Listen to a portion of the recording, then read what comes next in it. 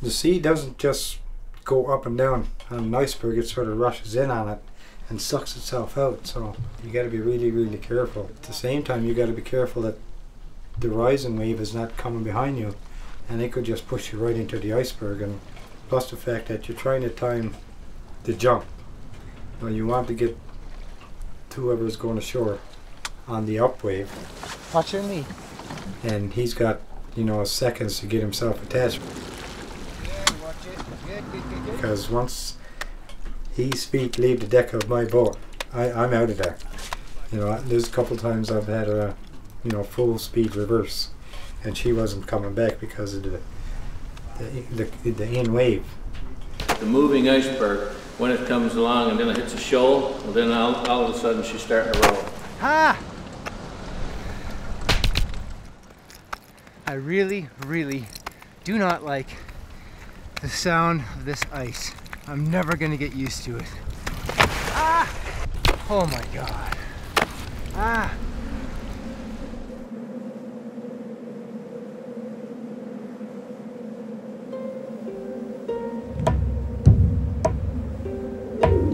I'm Pat Morrow.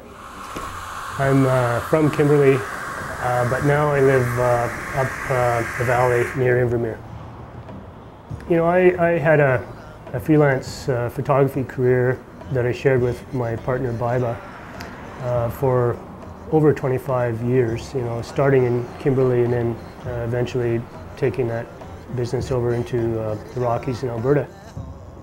I started out just following um, my curiosity. I mean, that's what got me into photography in the first place. You know, intense curiosity about seeing the world and, and uh, trying to grab as many life experiences as I could. And, and the camera actually became my uh, ticket to the to that lifestyle. And um, and then gradually, you know, I got into filmmaking uh, over about a 10-year period in the early 90s, wherein uh, I was I was going on these climbing expeditions and uh, uh, being hired to, to shoot stills as well as to shoot video. And so that, that was a situation that, you know, was twice as much work, if you can imagine carrying, uh, you know, that, you know, twice as much camera gear and, and uh, shooting in two different mediums on, on, during the course of like a 30 or 60 day expedition. Uh, and then having to deal with the footage when you get back and all, you know, the sorting of the stills.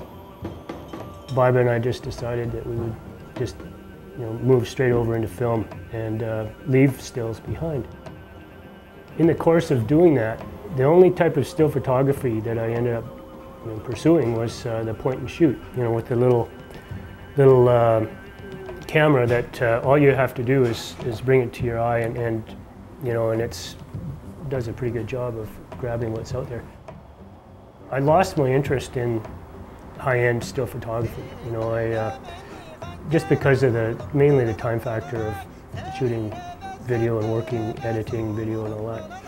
But through the the little camera and digital photography and the ease of you know putting it onto your hard drive on your computer and then sending it, you know, spamming out to your dirtbag friends, you know, by email.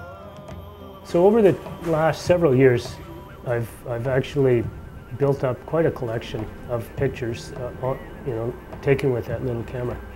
And so because of that, it's uh, actually brought renewed interest for me in, I guess, the art of still photography. If you consider that uh, many of the great photographs in the world were taken by amateur photographers um, from historically even, you know, on the large format cameras. And it's not the equipment, it's the eye behind the camera. One of the things that makes me most happy about photography is uh, sharing it with uh, my friends and and even people I don't know, you know, through slideshows or magazines or books. You know, like it's uh, you know when you when you're out there experiencing uh, something really intense in the mountains or on the ocean or somewhere. Uh, that's that's that's the reward to me is is uh, the experience itself. The byproduct of that experience is the photograph, which I can then bring back and and uh, actually spread that that joy around.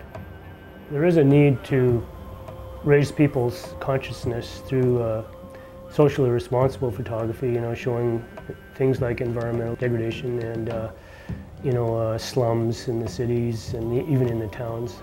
But uh, I think uh, equally or maybe more importantly, um, if we can show and focus on the, the, brighter side of life and show potential, I think um, that's, uh, that's uh, where I want to try and concentrate my efforts in the future.